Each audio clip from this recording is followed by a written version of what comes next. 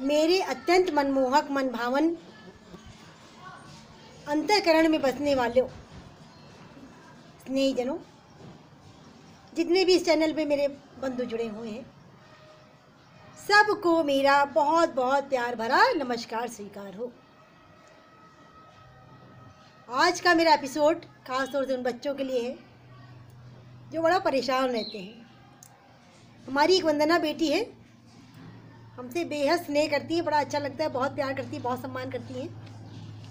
उन्होंने लिखा माता जी मैं बहुत परेशान हूँ। मेरी नन्ही बेटी आजकल बहुत भागने लगी है।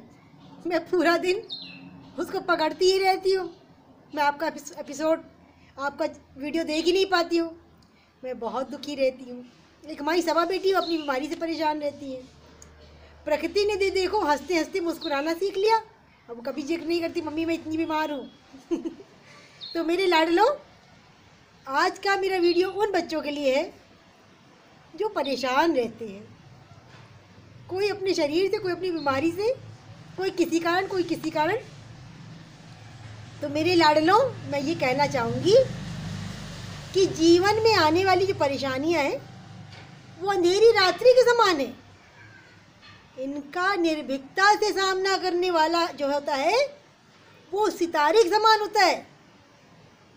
जो तभी चमकता है जब चारों ओर गहरा अंधेरा होता है। इसलिए अपनी हिम्मत और ईश्वर पर हमेशा दृढ़ विश्वास रखो। मेरे लाडलो, हर पहलू के दो नज़रिए हैं, एक नकारात्मक, एक सकारात्मक। तो हर बुराई में भी अच्छाई को ढूँढने का प्रयास करो। अरे वंदना बेटी, तुम अपनी नन्ही गुड़िया से परेशान होकर भागने लगती है। शुक्रिया अदा करो उस परम पिता परमात्मा का, जिसने आपको इतनी प्यारी प्यारी बच्चियाँ दी हैं। किसी दिन यही पढ़ लिख जाए लिख जाएँगी, आपका नाम रोशन कर देंगी। जैसे आज ममता बेटी हमारा चारों तरफ़ नाम कर रही हैं। मैं ममता की माँ के नाम से जानी जाती हूँ। मुझे नाज अपनी बेटी पर, क्यों बेटों से भी बढ़कर है। उसी तरह वंदना मेरी लाडली बेटी। अपनी बच्चियों को भी खूब पढ़ाना, लिखाना, बहुत अच्छा बनाना। आज ये दौड़ दौड़ के तुम्हें पकड़न पकड़ाई खेलती है ना, कल यही तुम्हें बहुत सुख देंगी। और सबसे ज़्यादा खुशी इस बात की होती है मुझे कि हमारे चैनल पर जितने भी बच्चे जुड़े हुए हैं, बच्चे तो चाहते ही है, उनके माता पिता भी हमें उतना ही प्यार देते हैं, बहुत खुशी होती है मेरे लाडलो।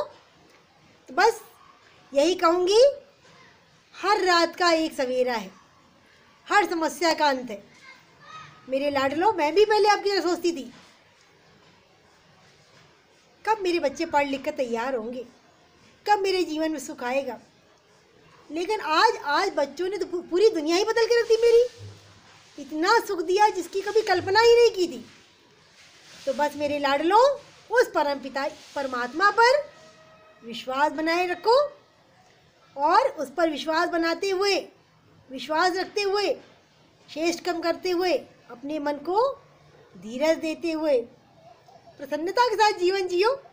कह दो, राज़ी हूँ मैं उसी में जिसमें तेरी रजा है, और तू जैसे भी मुझे रखे उसी में मेरी मज़ा है। बस इन्हीं शब्दों के साथ मैं अपनी वाणी को विराम देती हूँ। हम लोग फिर मिलेंगे। Tata bye bye